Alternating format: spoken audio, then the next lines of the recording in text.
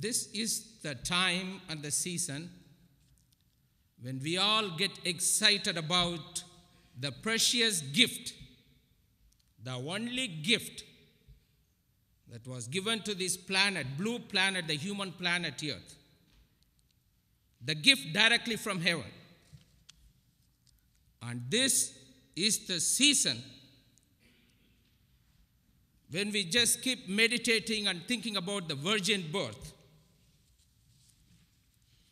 And this is a time when all of us small kids get excited about reindeer, the Rudolph, Frosty the snowman, and Santa Claus from North Pole coming to give us some kind of a gift.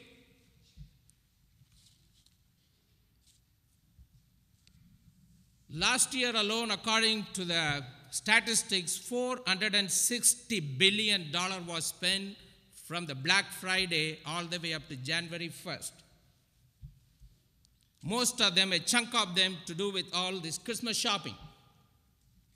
And yet, afterward, do not know the real meaning, the life, and what Jesus Christ could do to each and every one of our life.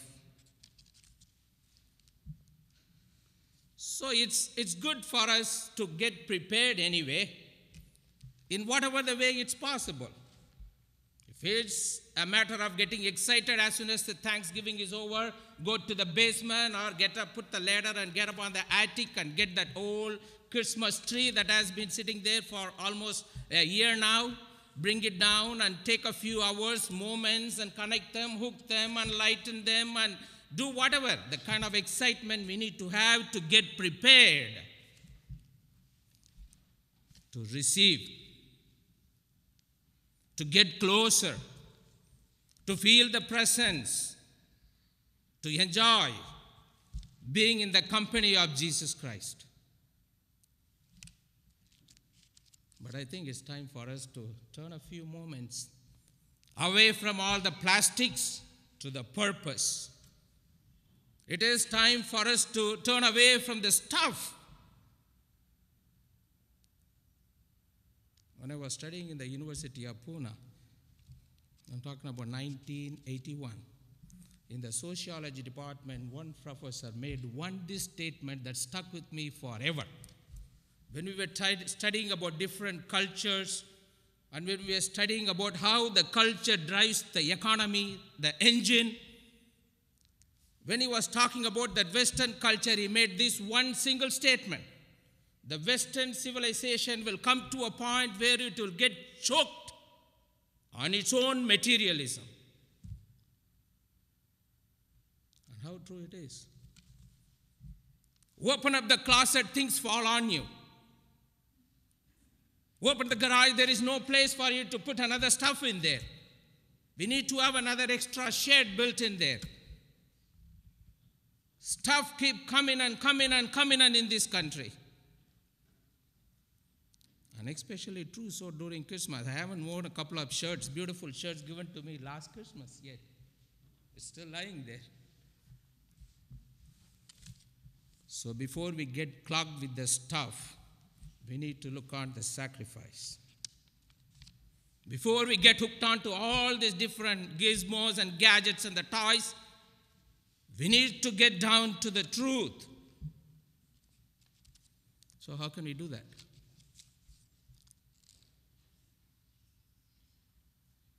In the book of Revelation, she studied so wonderfully to go and see Jesus face to face. Isn't that what Christmas is all about?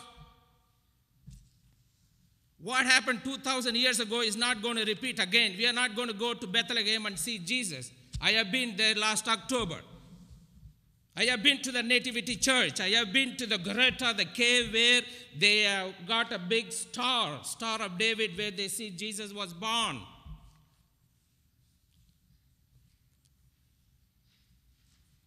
I have been to those places. But we need to look to have lot more and we need to get ourselves prepared. If we have to see Jesus and to receive the gift I think it needs an extraordinary preparation.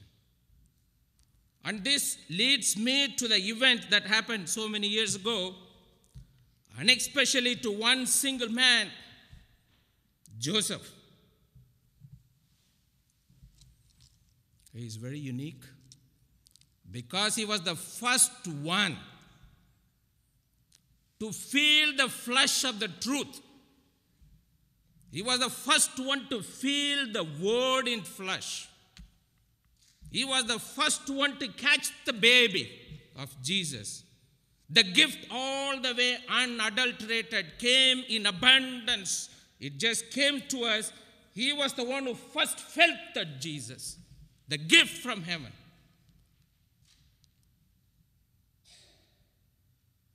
What makes him so special that he was given that kind of an opportunity?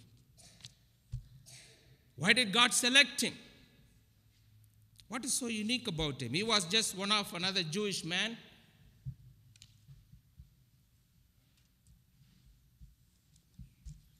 You know, looking back into the socio cultural and the political ethos, or the climate and the condition in which God has to deliver this promise, He cannot make any mistake about the person, about the place, about the situation, about the condition where he is about to deliver this gift, and the gift that has to perform certain duties.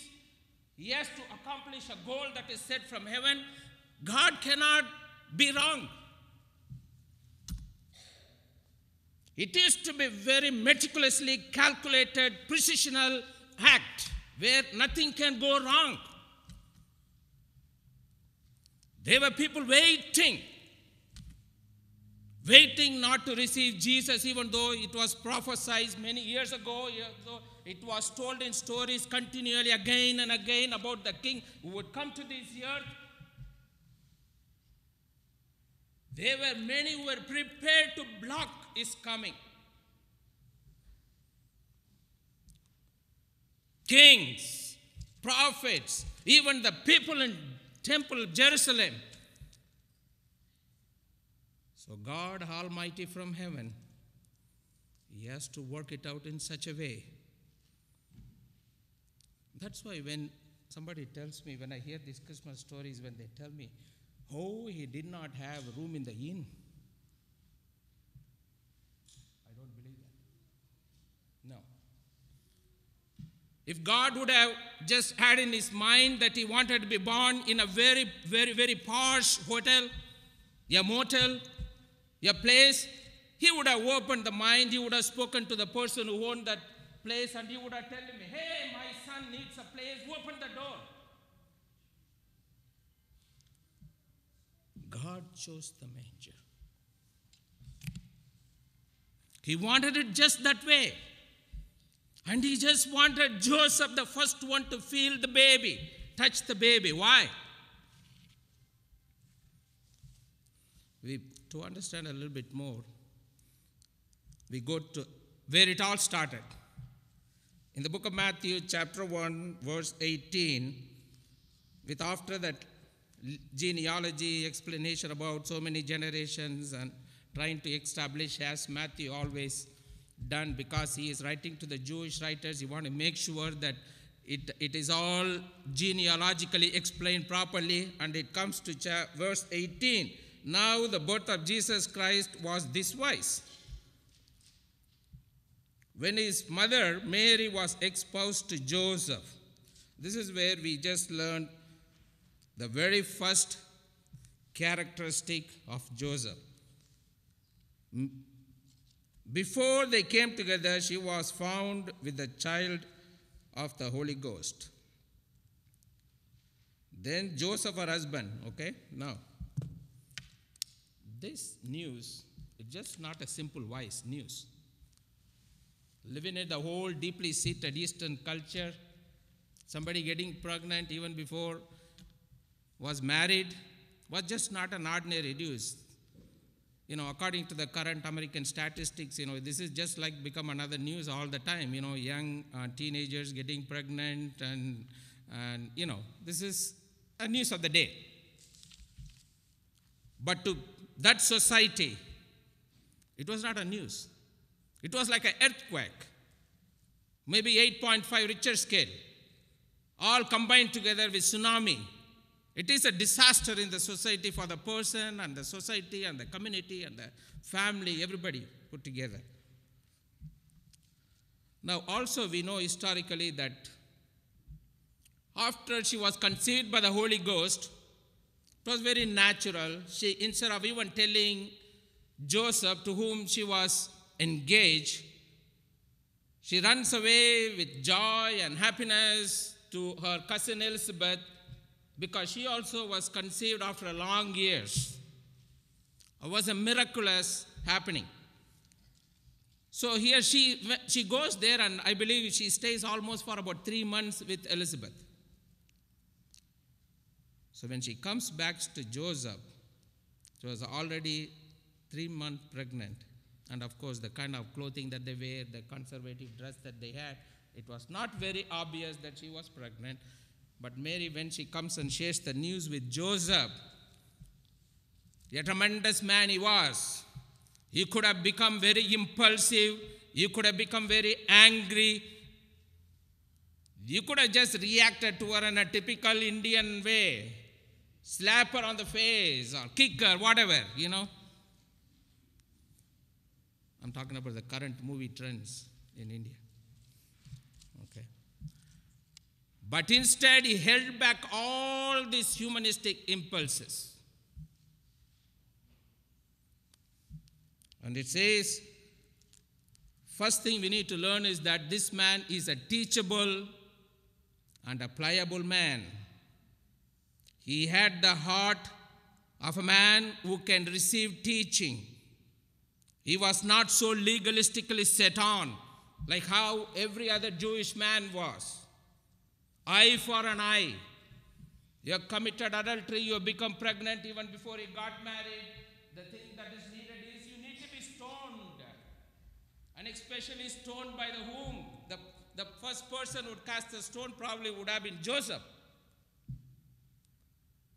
And in fact, many of them say that they revoked this law again and again, looking for a chance so they could stone and they could re-establish this law of Moses in the society. But Joseph, no. He was a man with a teachable and a pliable heart. Number one, to understand, to see Jesus. You know what we get stuck upon? Very high legalistic legal situations and conditions. This has to be this way. One has to do this way. One has to do this way. You have to have the Holy Spirit working in you to teach you.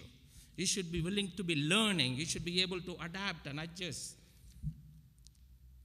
So, number one, we have learned is that he has been a very good man of a good heart, teachable heart, and a pliable heart. And then, of course, still, he still had this confrontation over the night. He was very worried, just like anybody else would be, thinking all different things, how to handle this situation, what can I do? And he, being a just man, he wanted to put away privily without making a big fuss, without really complicating the situation, stirring the pool. So, the second thing we need to know is that he was a man who was overflowing with a lot of love in his heart for Mary. So God did not make a mistake. He was a man who was who was seasoned with love that he can just decide something which should not hurt her, even even the slightest and the smallest of a feeling. And of course, God answered his prayer and let him know that this He's a holy child from Holy Ghost, and he has to name the God Jesus, and this child has the power to save this whole universe. So, second, he has a man who had a lot of love in a relationship. I don't know, do we have that love of understanding, stepping beyond, far ahead, bending backwards? You know, are able to give 99% to the other person and we are able to hold on maybe just a little, one single little percent? Are able to uh, really do far beyond and more than what is just called for in an ordinary. Joseph exhibits that kind of a wonderful love for Mary that he just does not proceed with real, strong, hard things that will hurt her. And of course, then according to the word, he is also, but Riley was thought on these things. Behold, an angel of the Lord appeared unto him in a dream, saying, Joseph, thou the son of David, fear not, take, fear not to take unto thee Mary the wife, for which is conceived is her of Holy Ghost. Okay? And she shall bring forth a son, and thou shalt call his name Jesus, for he shall save his people and his sins.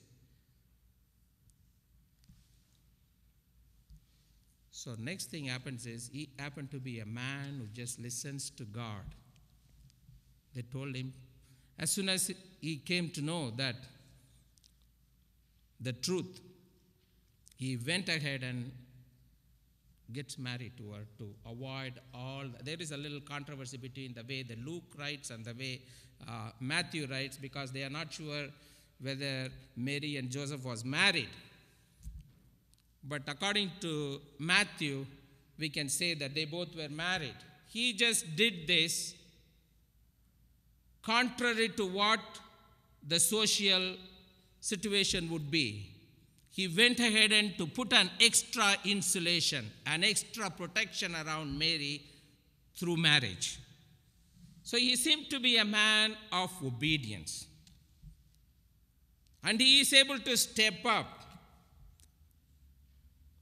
He is able to stand up. He is able to do things very differently than what anybody else would.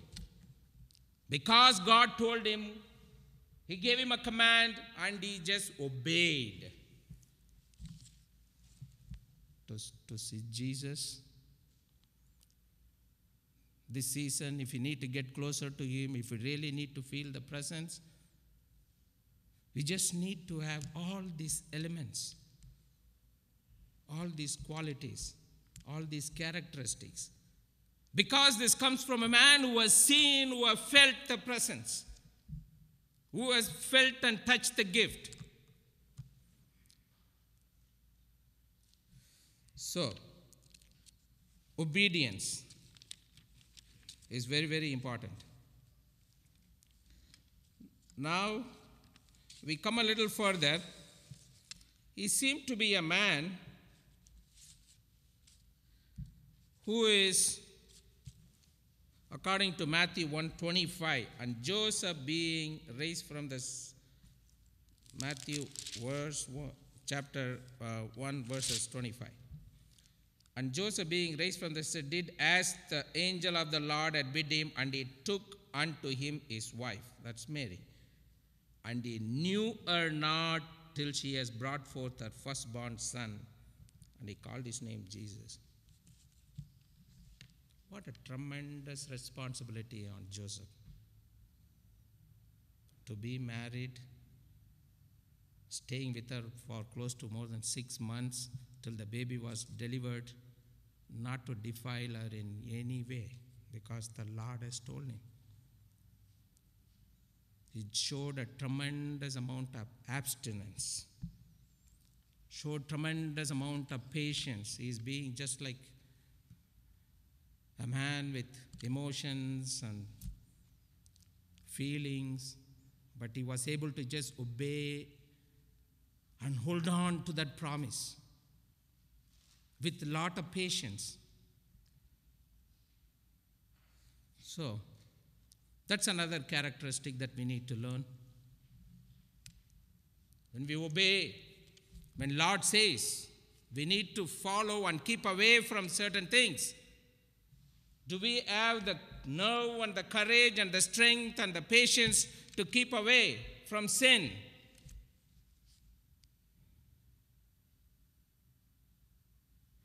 Are we able to really hold on to that promise